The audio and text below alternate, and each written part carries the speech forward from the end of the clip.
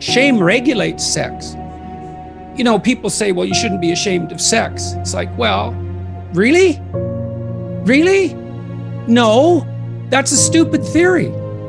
We arrest people who expose themselves in public. Why? Well, because we don't want people masturbating in public. We assume they should be ashamed enough not to do that. Shame regulates sexual behavior. So we're embarrassed about our desires. And, you know, naively you'd think, well, you can just shed that.